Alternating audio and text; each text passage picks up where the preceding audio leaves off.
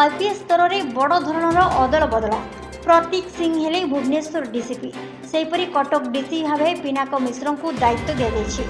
ସନ୍ତୋଷ ଉପାଧ୍ୟାୟଙ୍କୁ ଅଗ୍ନିଶମ ବିଭାଗ ଡିଜି ଭାବେ ଦାୟିତ୍ୱ ମିଳିଥିବା ବେଳେ ଗୁଇନ୍ଦା ନିର୍ଦ୍ଦେଶକ ଭାବେ ସଞ୍ଜୀବ ପଣ୍ଡାଙ୍କୁ ଦାୟିତ୍ୱ ମିଳିଛି।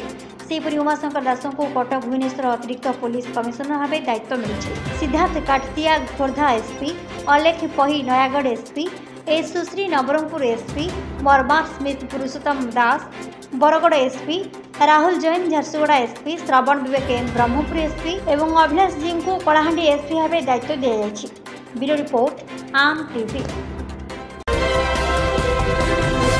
ଆପଣ ଦେଖୁଛନ୍ତି ଆମ୍ ଟିଭି